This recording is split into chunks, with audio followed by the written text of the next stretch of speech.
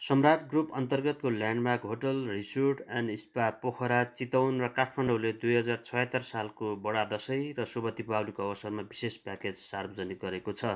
विशेष गरी आन्तरिक पर्यटकका लागि आकर्षक प्याकेज सार्वजनिक गरिएको सम्राट ग्रुपका सिइओ सिएन पाण्डेले बताउनु भएको छ। पाण्डेका अनुसार होटलले पर्यटकहरूका लागि चालिस प्रतिशत छुटको आकर्षक प्याकेज घोषणा गरेको हो। दसैँ तिहार जस्तो चाडमा लामो बिदा हुने भएकाले धेरै मानिस चितवन र पोखरा बिदा मनाउन जाने गरेका छन्। यसरी त्यहाँ पुग्ने आन्तरिक पर्यटकका लागि सहज होस् भन्ने हेतुले प्याकेज घोषणा गरिएको भनाइ उहाँको छ।